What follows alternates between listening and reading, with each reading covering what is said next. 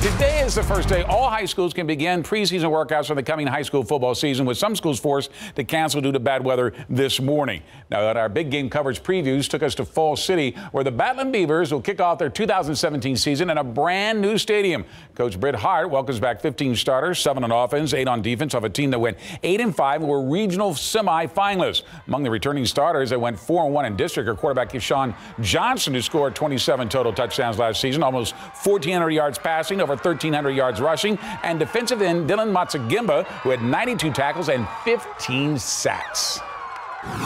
We need to be mentally tough and fight through adversity when it hits. We kind of broke down a little bit last year from last year that we're very strong and athletic now. And again, we're very close. So I think we're going to get farther this year. The Battlin' Beavers will kick off their season at home against Bruni on Friday, September the 1st at 7 p.m.